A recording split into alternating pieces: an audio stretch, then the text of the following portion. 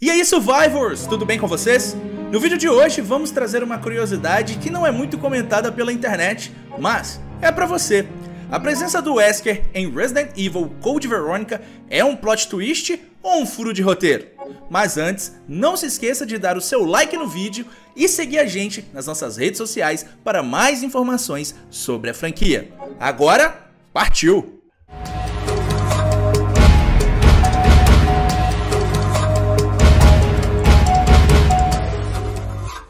Claro que um dos favoritos entre os clássicos para muitos fãs de Resident Evil ainda daria as caras por aqui.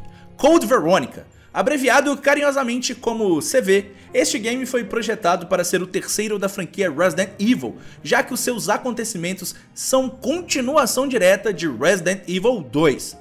Porém, após um alinhamento de ideias e acordos, Resident Evil 3 Nemesis passou a ser o terceiro jogo numerado da trilogia original para o PlayStation 1 e Code Veronica seria promovido para a geração seguinte, sendo ele lançado exclusivamente para o Dreamcast, o primeiro console da sexta geração, no ano 2000. O jogo traz de volta Claire e Chris Redfield. Há cenários como a ilha Rockford e a base da Umbrella na Antártida.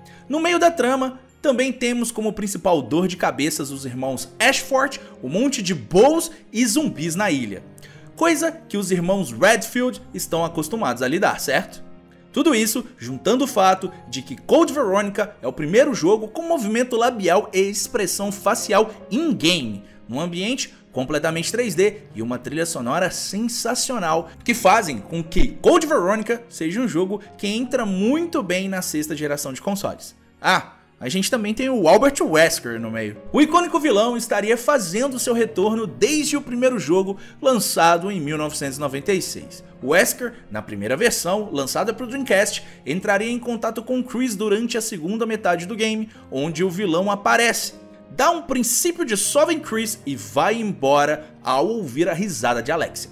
Mais pra frente no jogo, ele aparece para prestigiar a força de Alexia em resumo, ele leva um soco no meio da fuça da mutação Ashford e deixa Chris para trás para resolver o problema. Como sempre, o Bob tem que resolver as coisas, credo, mano.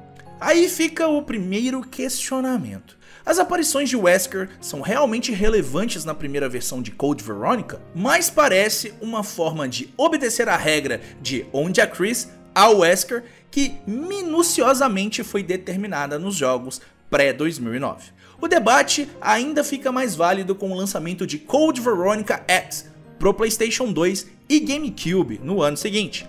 Além de uma pequena melhora gráfica e uma mudança no cabelo do Steve, o jogo traz três cenas novas. A primeira é o encontro de Wesker e Claire ainda na primeira metade do jogo, onde Wesker derruba a heroína na frente da mansão Ashford e sai.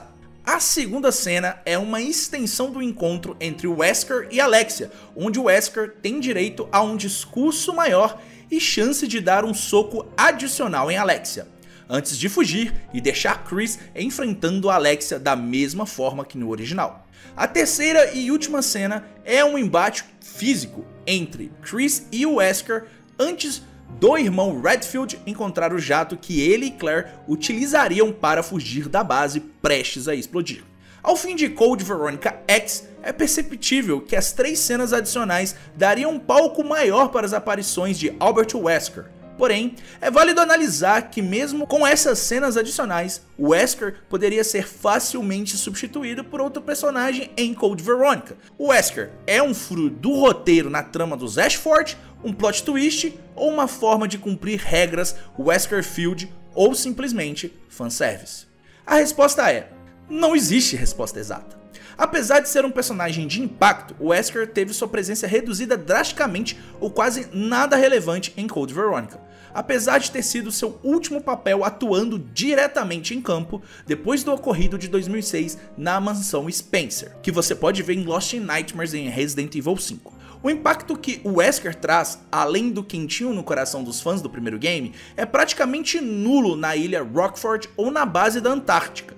Novamente, se o Wesker fosse substituído por outro personagem, como o Hank, por exemplo, olha que sugestão legal, hein, Capcom? Talvez sua presença tivesse sido bem mais aproveitada do que foi em CV. O Wesker é um antagonista sensacional, e sim, há carisma em usar óculos escuros de noite, tá?